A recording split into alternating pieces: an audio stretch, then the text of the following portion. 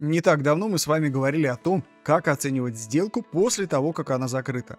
А сейчас расскажу, можно ли заранее понять, будет ли сделка прибыльной. Привет, это Адмиралс, меня зовут Лембиту. Сегодня выясним, как делать предварительную оценку сделки до того, как ее открыть.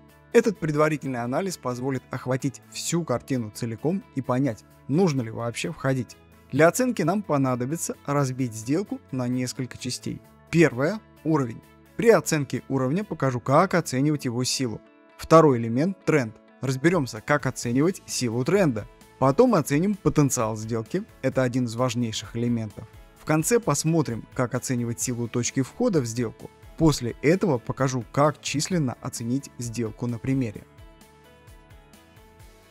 Графические уровни можно разделить на два типа. Первый наиболее редкий, точечный, локальный разворот когда изменение цены произошло в одном конкретном месте. При локальном развороте восходящего движения образуется уровень сопротивления.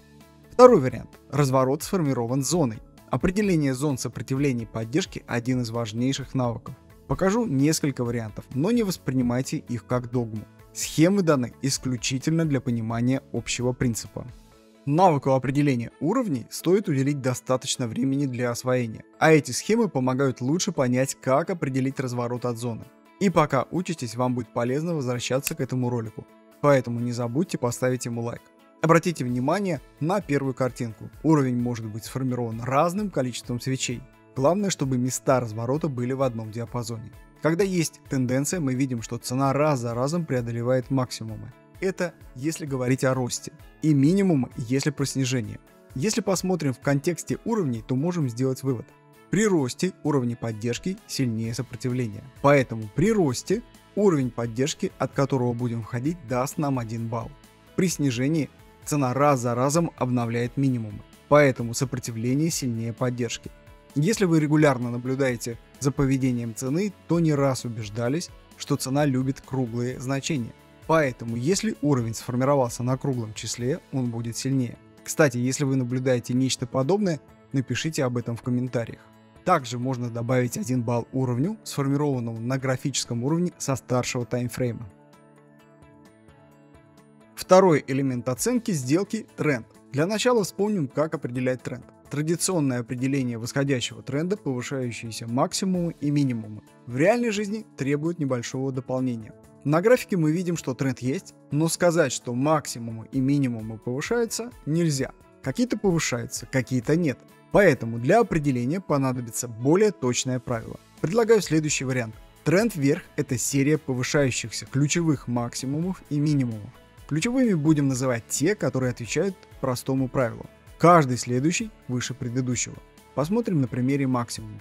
Второй выше первого, третий выше второго, четвертый выше третьего и так далее. Таким образом, тренд вниз – это серия понижающихся ключевых минимумов.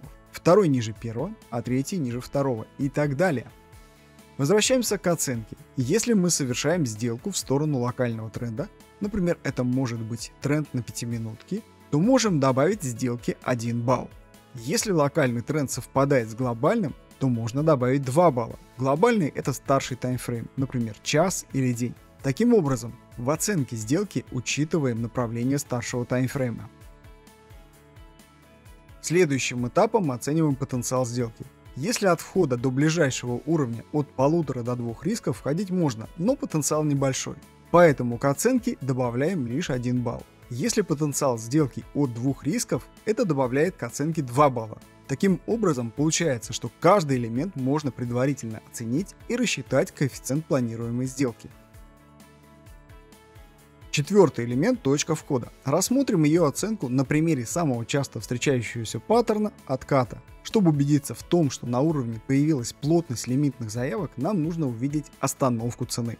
Чем дольше остановка, тем лучше, но все в разумных пределах. Если входим сразу после первой свечи, то подтверждение не сильное, поэтому добавляем к оценке сделки только 1 балл. Если цена стоит на уровне дольше, то можно добавить к оценке чуть больше и паттерн оценить уже двумя баллами. Оптимальным, на мой взгляд, можно считать вариант паттерна сформированного тремя или четырьмя свечами. Такую точку входа можно оценить тремя баллами.